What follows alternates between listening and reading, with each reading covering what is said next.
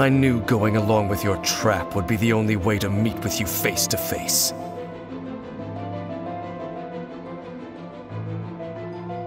You risked your safety and that of the Eye?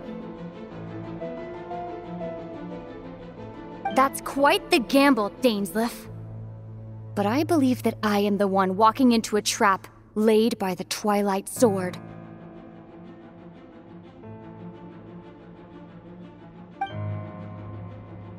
So you came here all on your own?